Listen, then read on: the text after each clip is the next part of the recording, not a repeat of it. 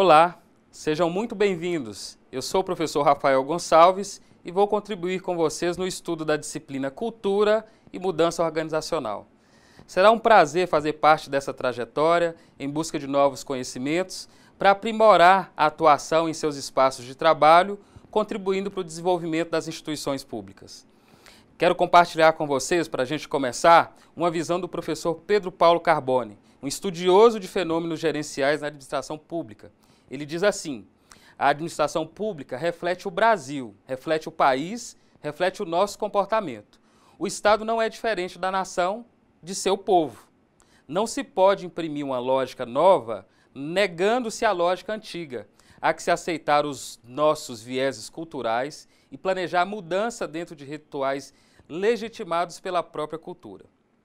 O objetivo da disciplina Cultura e Mudança Organizacional é dotar vocês, alunos, com conhecimentos de natureza técnico, instrumental, no âmbito da problemática do funcionamento organizacional, com particular destaque para os elementos da cultura e da mudança organizacional, no contexto da implementação de uma nova governança que seja efetiva, face à alternância dos projetos políticos de governo. O estudo dessa temática é complexo e, ao mesmo tempo, desafiador e instigante, por envolver os principais fatores que movimentam as organizações, quais sejam pessoas, tecnologias e processos. Agora vamos conhecer os objetivos da unidade 1 da nossa disciplina. Conhecer e compreender os principais elementos da cultura brasileira que se projetam nas organizações públicas identificar os processos de transformação decorrentes da emergência de valores gerenciais na administração pública, compreender as estratégias e interpretação da mudança, o formalismo e o jeito, e conhecer o processo de resistência à mudança em seus pressupostos e aspectos positivos. Perceberam a importância dessas questões no processo formativo de vocês como especialistas em gestão pública? Veja agora a ementa da unidade, que consta também do caderno didático. Vamos iniciar a nossa aula falando sobre alguns conceitos primordiais para entendermos sobre cultura e os fenômenos da mudança organizacional. A abordagem mecanicista ou racional é uma das formas de entender o conceito de organização. É uma combinação intencional de pessoas e de tecnologia para atingir um determinado objetivo. Um outro conceito mecanicista é de que as organizações são unidades sociais que procuram atingir os objetivos específicos ou a sua razão de ser, né? sendo essa razão de ser atingir esses objetivos. Um terceiro conceito que compartilho com vocês é que a organização é um sistema planejado de esforço cooperativo, no qual cada participante tem um papel a desempenhar e deveres e tarefas a executar. O conceito de organização também é posto numa abordagem interpretacionista. Vejamos. Entende-se a organização como um componente do sistema de relações de um campo específico, formado por atividades padronizadas e articuladas, que expressam normas e regras sociais. A organização constitui, então, uma arena social e, como tal, está impregnada pelo ambiente. Então, o fator ambiental começa a entrar nesse conceito. A organização, nessa concepção, tem termos técnicos e institucionais como setor social, dele retirando e a ele transmitindo, em uma interação recíproca com normas e padrões de comportamento que constituem modos adequados de ação. A abordagem interpretacionista contribui para uma melhor compreensão do conflito existente nas organizações entre as dimensões técnica e política. Segundo Berg, escreve o nosso caderno de, da disciplina, a organização pode ser compreendida com base em distintos olhares e dimensões de análise, abordando elementos diferentes em diferentes posições, num contínuo entre objetividade e subjetividade. Espero que tenha ficado claro para vocês o conceito ou os conceitos aplicado à organização. Então, entendido o que é a organização, agora acompanhe comigo o conceito de cultura. Cultura, segundo Morgan, relata, é, ele relata que a palavra cultura deriva metaforicamente da ideia de cultivo, que vem do, do termo etimológico é, agricultura, o processo de preparar melhor a terra. De acordo com Taylor, cultura é um complexo conjunto que inclui conhecimento, crenças, arte, moral, lei, costume e qualquer outra capacidade e hábito adquirido pelo homem como membro da sociedade. Por fim, para a gente finalizar essa parte de conceitos, eu quero apresentar para vocês dois conceitos que bem definem cultura organizacional. O que é cultura organizacional? O primeiro conceito que compartilho com vocês é que cultura é um conjunto de pressupostos básicos que um grupo inventou, descobriu ou desenvolveu ao aprender como lidar com os problemas de adaptação externa e integração interna que funcionaram bem o suficiente para serem considerados válidos e ensinados a novos membros, como uma forma correta de perceber, pensar e sentir em relação a esses problemas dentro da organização. É, Chen também ensina que a cultura organizacional é o modelo dos pressupostos básicos que um dado grupo inventou, descobriu ou desenvolveu no processo de aprendizagem para lidar com problemas de adaptação externa e também de integração interna. Eu quero compartilhar com vocês sete características básicas da cultura organizacional. Penso que já ficou claro para todos nós que cultura organizacional se refere a um sistema de valores que são compartilhados pelos membros de uma organização e a diferencia das demais organizações. Essas características representam uma base de sentimentos e de compreensão compartilhadas que os membros têm a respeito da própria organização, de como as coisas devem ser feitas e qual o comportamento esperado delas. Eu quero demonstrar para vocês algo bem particular em relação à cultura organizacional dizer para vocês que a cultura organizacional ela não é uniforme. E quero demonstrar isso de forma prática. É, vejamos, existem duas perspectivas de cultura. Uma cultura dominante, que expressa os valores essenciais compartilhados pela maioria dos membros da organização, e as subculturas, que refletem problemas, situações ou experiências comuns a alguns de seus membros. Isso reflete nas designações de departamentos ou até mesmo questões de separação geográfica. É como se nós eh, olhássemos para a realidade de uma instituição com várias unidades, onde uma unidade que se encontra no sul do país e uma unidade que se encontra no norte do país podem ter subculturas diferentes que compõem a cultura institucional. Ok? Tá claro para vocês? Seguindo com a nossa aula, eu preciso alertá-los de que nos estudos sobre cultura organizacional, naturalmente vai surgir a comparação entre culturas organizacionais fortes e culturas organizacionais fracas. Por isso, vejamos o que Hobbes nos ensina sobre essa questão. Vejamos as funções da cultura organizacional. Acompanhem comigo as principais funções de uma cultura organizacional para perceber por que nós devemos cuidar com zelo desse patrimônio imaterial da organização. A cultura organizacional tem como função definir fronteiras entre uma organização e as outras. Ela também tem a função de proporcionar um senso de identidade aos membros da organização. Outra função da cultura organizacional é facilitar o comprometimento com algo maior do que o interesse individual dos membros da organização. A função também estimula a estabilidade do sistema social dentro da própria organização. E, por fim, a cultura organizacional é, atua ou serve como sinalizador do sentido e mecanismos de controle que orienta e dá forma às atitudes e comportamentos dos funcionários. Vejamos o modelo proposto por Robbins para demonstrar como se formam essas culturas organizacionais. Segundo Robbins, a cultura organizacional nasce da filosofia dos fundadores da organização, ou seja, quando eu começo uma organização, ali também começa a se cultivar a cultura. Essa filosofia dos fundadores vai de acordo com os seus valores, as suas crenças particulares, a forma como eles se comportam. Em seguida, a cultura organizacional avança também para a composição dos times, das equipes. Os critérios de seleção da composição da organização também contribuem para ampliar e formar é, a característica própria de cultura organizacional.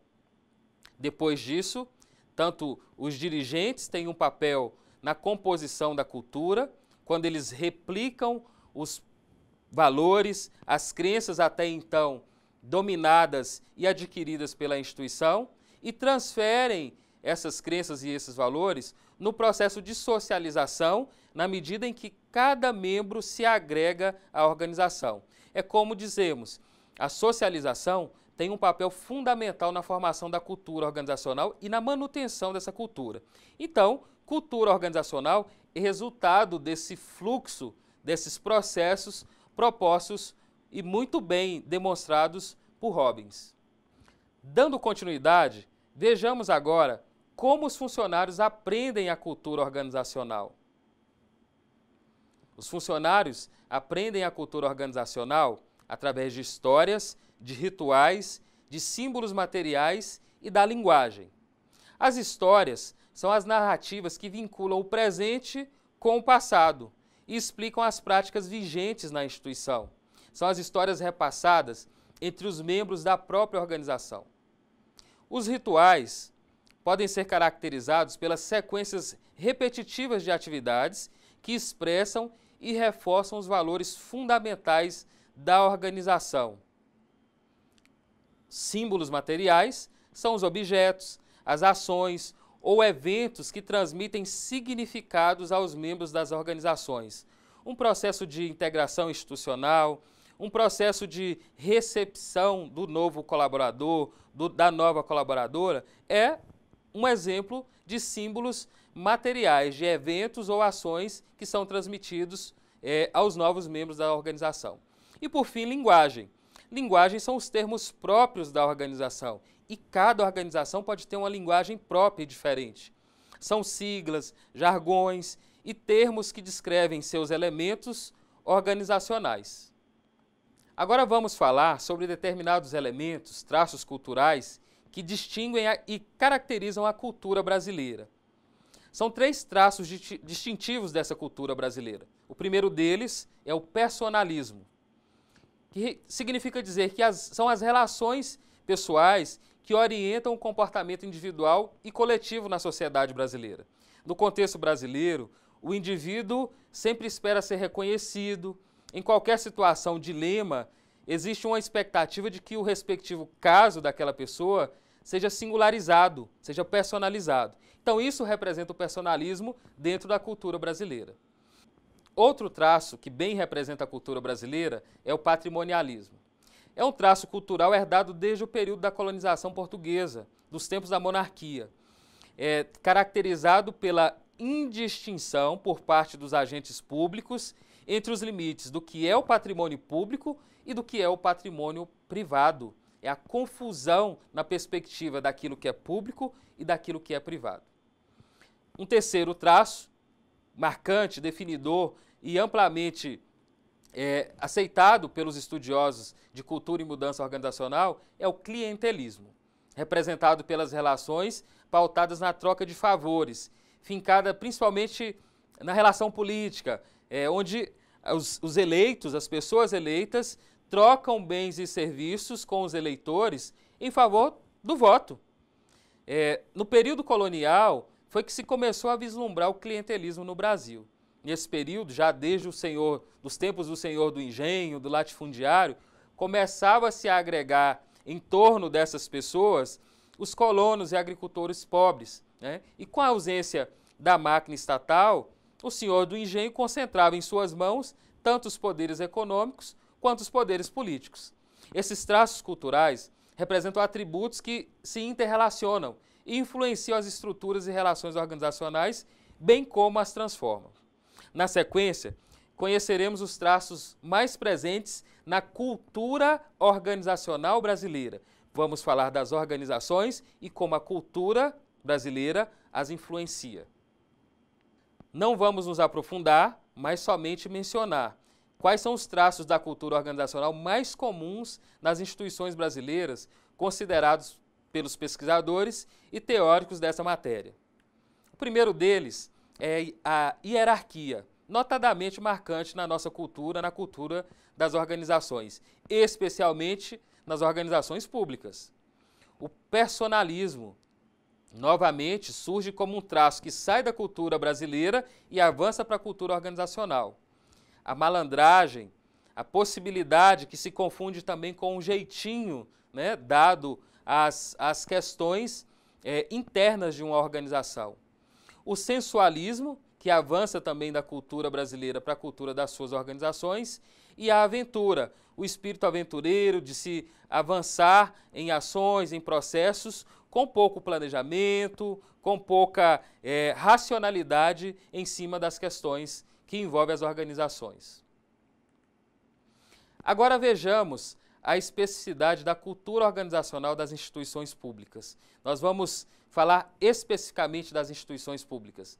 De acordo com Berg, alguns traços culturais de comportamento das, das organizações públicas, eles podem ser generalizados em maior ou menor nível de intensidade, a depender do contexto das organizações. Acompanhe comigo esses traços de cultura organizacional mais gerais. Um deles, a ênfase nas relações pessoais e de grupos, a reduzida suscetibilidade do ambiente a, turbulências. Então, as instituições estão sempre suscetíveis a turbulências externas. A constância no ritmo e dinâmica de trabalho. Não se avança, não se acelera. O reduzido grau de insegurança em termos de manutenção do vínculo laboral. Essa é a famosa estabilidade. A valorização seletiva dos padrões formais, o corporativismo, o protecionismo e a condescendência, aceitação por parte das organizações de modelos, de ideias, de propostas que muitas vezes não vão ao encontro daquilo que ela é, prima e preza dentro da sua própria cultura. É importante compreendermos que a cultura de organização representa uma estrutura de valores que deve constituir objeto da ação de nós, gestores. Precisamos compreendê-la como resultado da interação dos diferentes atores organizacionais e orientá-la para os objetivos institucionais. Para aprendermos sobre a estrutura, os processos e o desempenho das organizações públicas, é necessário revisar as origens do Estado e da sociedade brasileira. Nós vamos fazer um comparativo do que é a cultura brasileira e do que é a cultura da organização brasileira, como elas interagem. Muitos autores concordam que a produção do conhecimento e tecnologias gerenciais nas organizações públicas brasileiras valorizam estudos e práticas estrangeiras, importadas de outros países ou até mesmo da iniciativa privada. O reflexo disso é percebido na defasagem do modelo gerencial brasileiro. Isso porque, quando se importa modelos gerenciais de forma acrítica, sem é, avaliar a, em, em real, um real contexto como aquilo reflete dentro da organização, desconsidera-se a complexidade da cultura brasileira e acaba por se perpetuar a falta de originalidade nas propostas de reforma da administração pública. A instituição da formação gerencial no Brasil é um processo complexo que, com mais destaque né, na sua gênese, revela uma dependência da produção estrangeira principalmente da produção estrangeira norte-americana, que forjou a instrumentalidade, o uso de instrumentos, de técnicas e práticas, modelos, como traço característico e dominante da ação administrativa das organizações públicas brasileiras. Vamos falar sobre patrimonialismo e burocracia na administração pública brasileira. Segundo Keyner, é, o ciclo de entre o patrimonialismo e a burocracia refere-se é, pode ser dado em quatro ciclos paradigmáticos na administração pública brasileira no século XXI. Começa pela administração pública como ciência jurídica, com forte influência da ciência jurídica dentro da administração pública, de 1900 a 1929. Num segundo estágio, a administração pública como uma ciência administrativa, entre 1930 e 1979. Depois, a administração pública como uma ciência política, de 1980 a 1989, e a administração pública como administração pública, tentando entender e demonstrar já a partir de 1989 as especificidades e as características próprias da, da ciência da administração pública. Podemos perceber que a administração pública tem se transformado ao longo dos anos. Contudo, mesmo apresentando diferentes concepções, alguns elementos da sua essência têm sido preservados. Essas mudanças têm se caracterizado pela convivência de antagonismos, de paradoxos e de contrastes, sobressaindo-se a, a, busca por soluções de convergência híbridas, intermediárias, criativas, flexíveis, plásticas, entre outras. A administração pública tem se transformado, porém, mesmo apresentando diferentes formatos, vem preservando elementos fundamentais da sua essência. Isso a gente fala do patrimonialismo, principalmente, e da burocracia. Existe uma resistência do patrimonialismo e da burocracia à implementação dessa nova administração pública, da administração pública gerencial. Isso é um fenômeno que pode, precisa, é necessário que nós, é, agentes públicos, gestores públicos e as organizações possamos empreender um esforço para compreender e transformar essa realidade. Vamos agora comentar sobre os aspectos que envolvem a mudança organizacional e a resistência cultural percebida nas organizações, especialmente os fenômenos das organizações públicas brasileiras. Precisamos desenvolver uma capacidade contínua de adaptação e de mudança, segundo Robbins. Robbins nos ensina os principais fatores de mudança organizacional. Entre eles, a natureza da força do trabalho, a característica é, do grupo que compõe a força de trabalho das organizações, a tecnologia envolvida e inserida na organização, os choques econômicos, naturalmente olhando para fatores externos, as tendências sociais, também outra característica de influência externa, a política internacional, que devemos considerar como um fator de mudança organizacional, e as exigências da própria sociedade, como a sociedade se transforma e as organizações precisam também se adaptar, mudando para novas realidades. O que mudar na organização? Podemos mudar pessoas, tecnologia e estrutura. Pessoas, mudamos as atitudes, mudamos o perfil e as lideranças, mudamos a forma de nos comunicarmos. Quando falamos de tecnologia, a mudança passa por processos e equipamentos.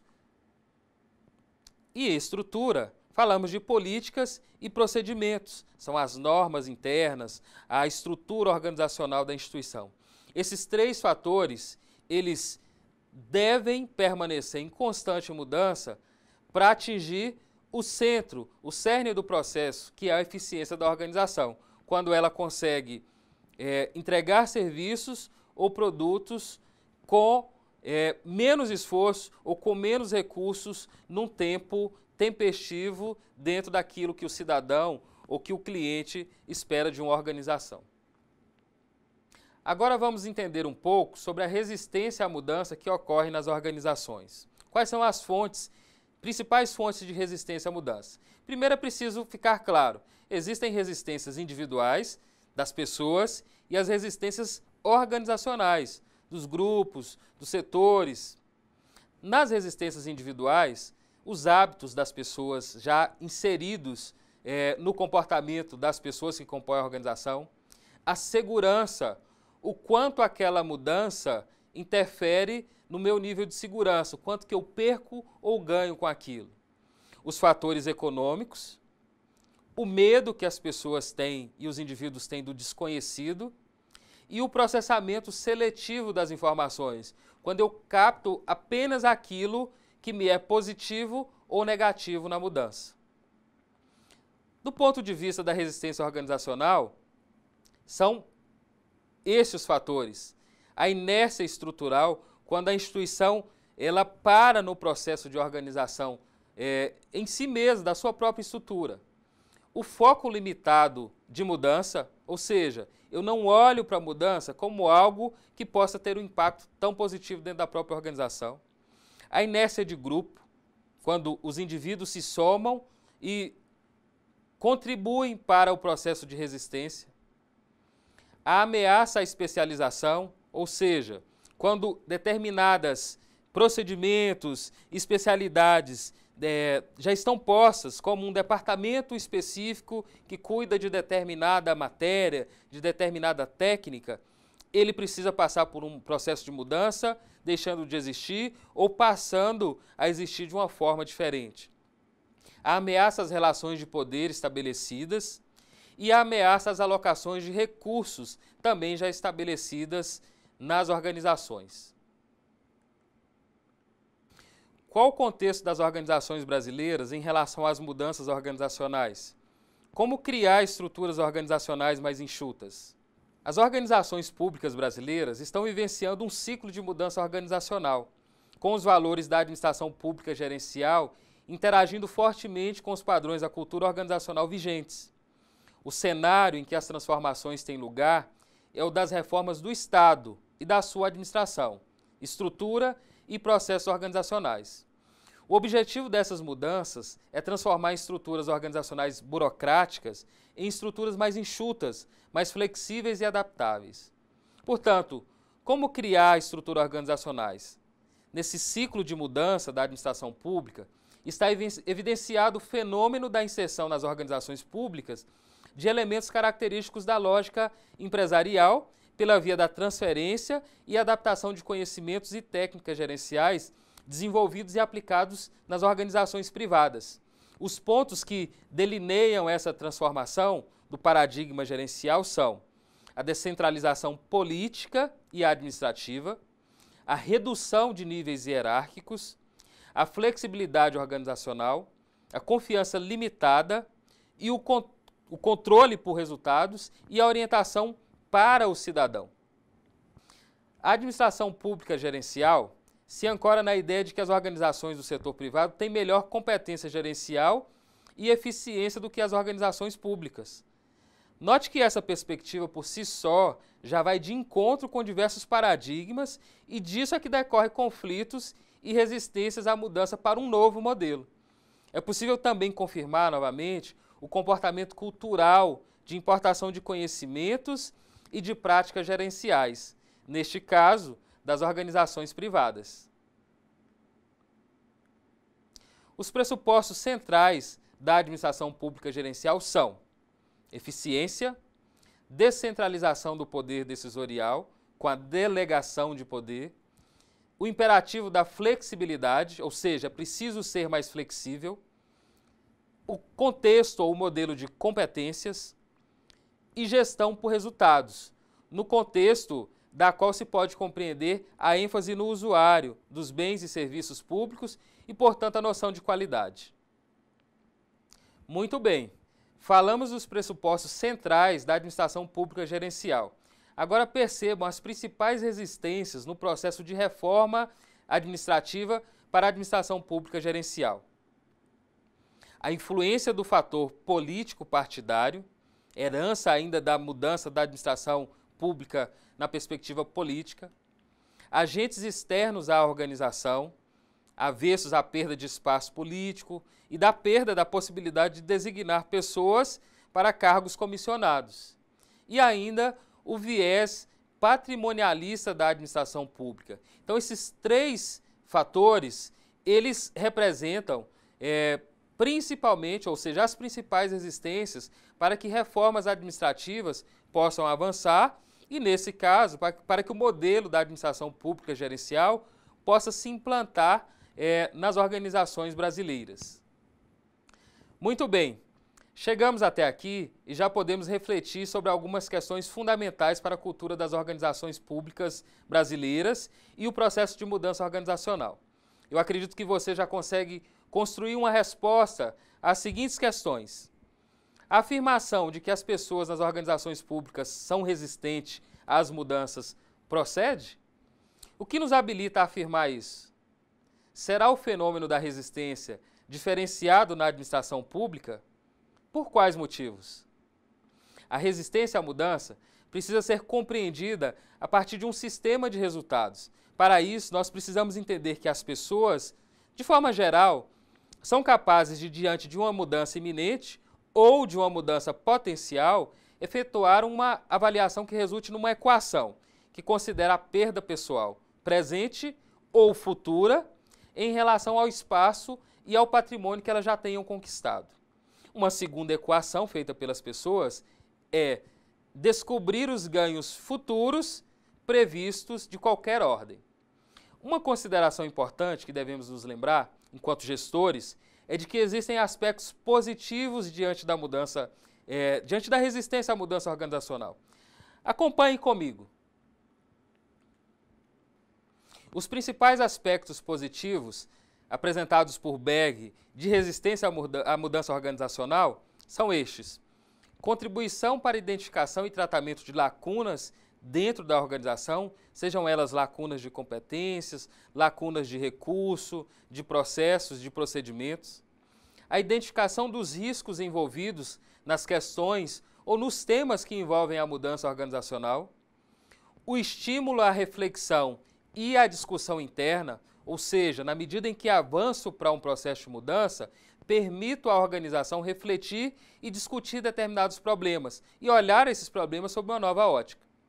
A melhoria do relacionamento interpares entre os grupos, entre as categorias é, profissionais da organização, o aperfeiçoamento do processo de comunicação, na medida em que eu exercito e faço com que esses grupos se encontrem para descobrir e vencer a resistência à mudança a identificação das necessidades específicas de cada área da organização.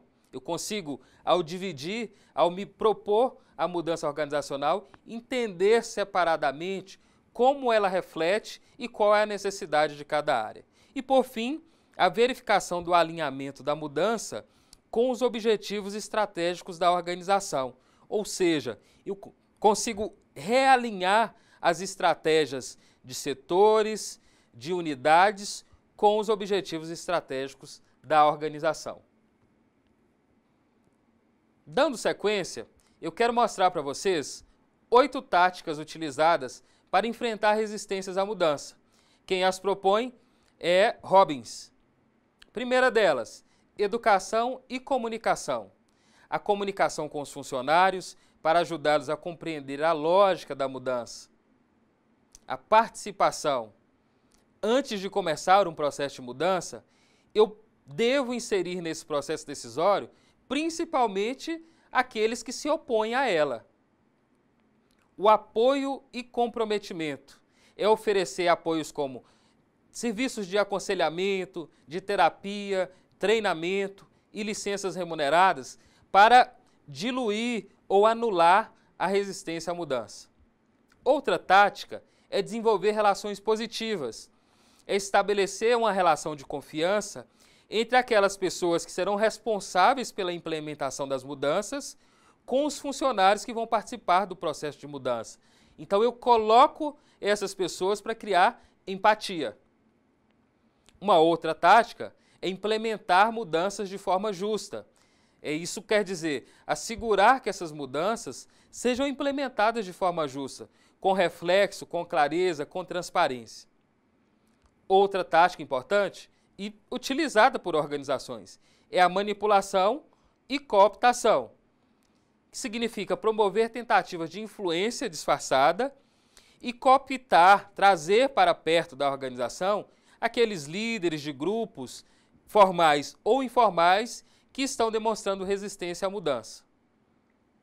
Também compõem essas oito táticas de, utilizadas para enfrentar resistência à mudança selecionar pessoas, desde o processo de ingresso na organização, pessoas que aceitam mudanças, que naturalmente aceitam mudanças. Ou seja, compor equipes com funcionários, com colaboradores, que tenham perfis mais flexíveis. Isso, naturalmente, quando se pensar em um processo de mudança, vai facilitar é, e diminuir a resistência a elas. E, por fim, talvez a menos utilizada, né, na perspectiva humana é a coerção. Fazer uso de ameaças diretas ou de força sobre os resistentes. É claro que essa coerção também pode se dar por questões legais, imposições jurídicas, que são externas à instituição, à organização, mas que devem ser colocadas é, diante de um contexto de resistência. Antes de encerrar a nossa aula, eu quero oferecer para vocês uma metáfora caracteriza muito bem os conceitos e as ideias que nós estudamos hoje. É a metáfora do peixinho vermelho.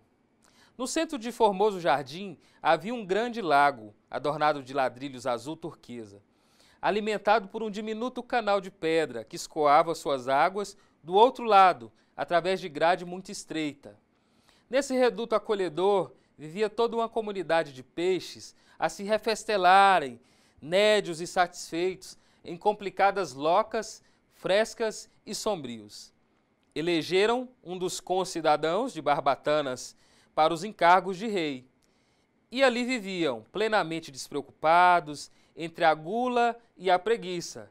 Junto deles, porém, havia um peixinho vermelho, menosprezado por todos ele não conseguia pescar a mais leve larva, nem refugiar-se nos nichos barrentos. Os outros, vorazes e gordalhudos, arrebatavam para si todas as formas larvárias e ocupavam displicentes todos os lugares consagrados ao descanso. O peixinho vermelho que nadasse e sofresse. Por isso, ele era visto em correria constante, perseguido pela canícula ou atormentado de fome. Não encontrando pouso no vasto domicílio, o pobrezinho não dispunha de tempo para muito lazer e começou a estudar com bastante interesse. Fez um inventário de todos os ladrilhos que enfeitavam as bordas do poço, arrolou todos os buracos nele existentes e sabia com precisão onde se reuniria maior massa de lama por ocasião dos aguaceiros. Depois de muito tempo, à custa de longas perquirições encontrou a grade do escoadouro. À frente da imprevista oportunidade de aventura benéfica, ele refletiu consigo: Não será melhor pesquisar a vida e conhecer outros rumos? Optou pela mudança.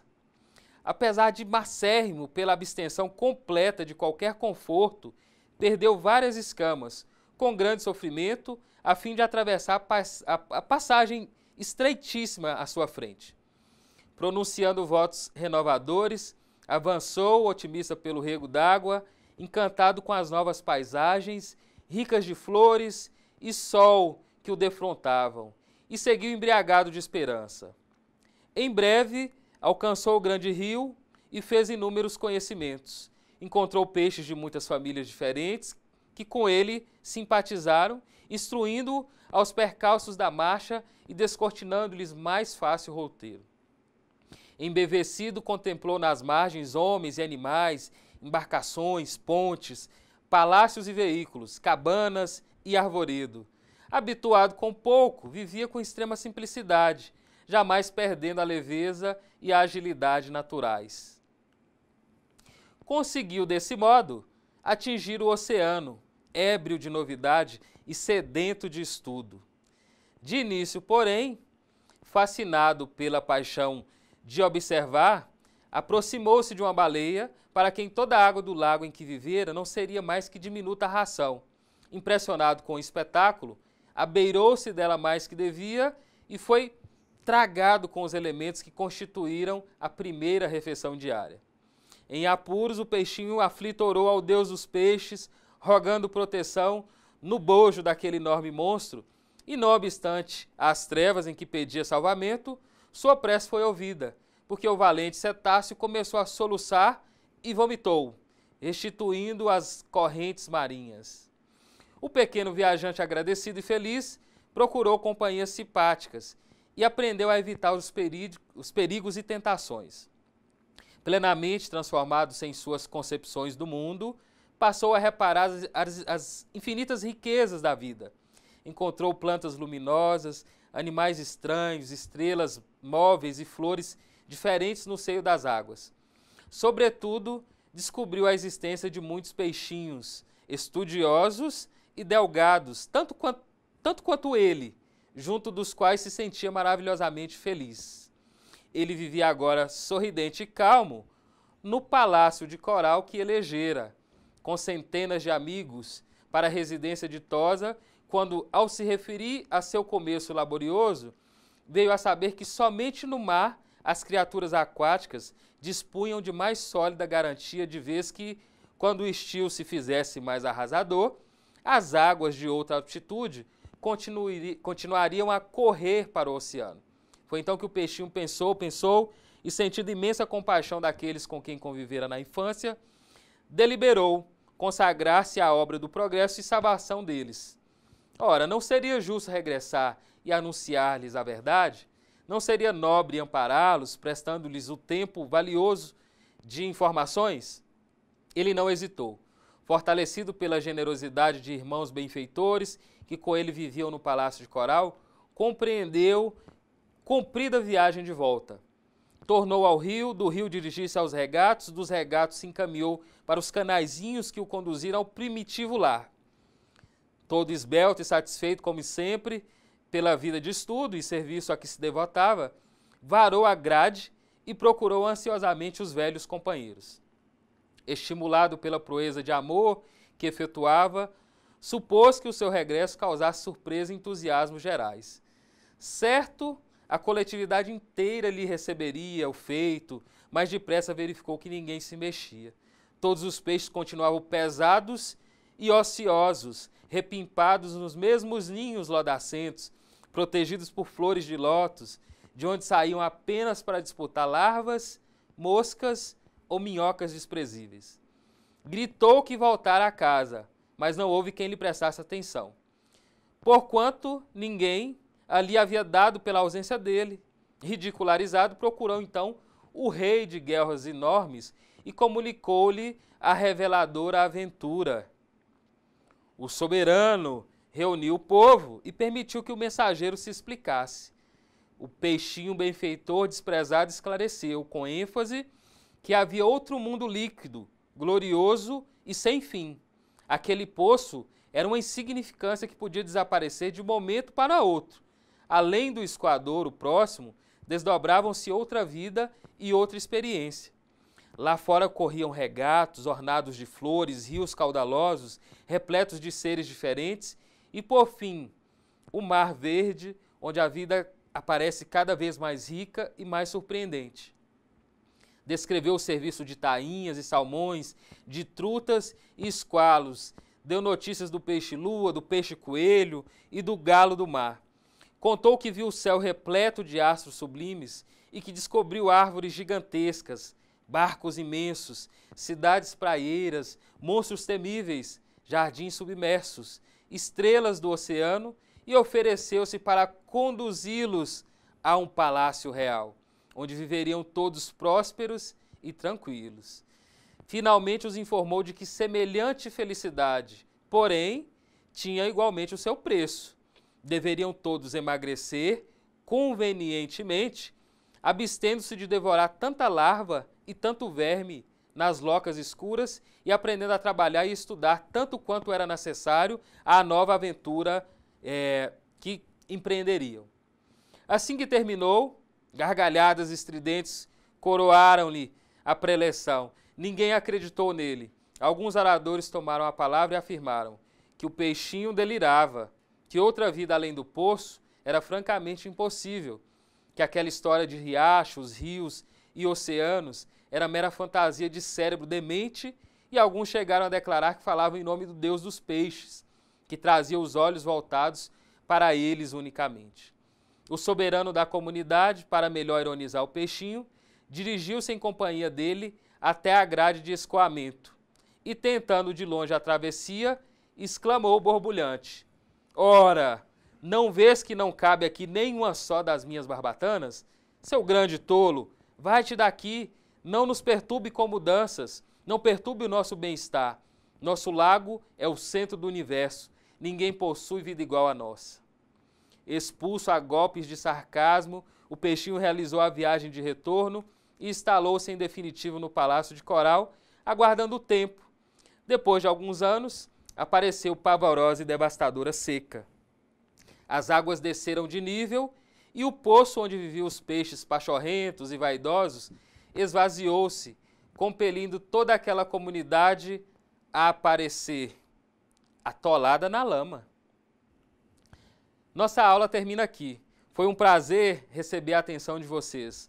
Aproveitem todo o material disponibilizado para estudo e busquem se aprofundar neste riquíssimo tema. Eu estarei à disposição nos fóruns para ampliarmos o nosso conhecimento. Lembre-se que a construção do conhecimento é coletiva, todos fazem parte desse processo de aprendizagem. Um grande abraço e bons estudos. Até a próxima aula.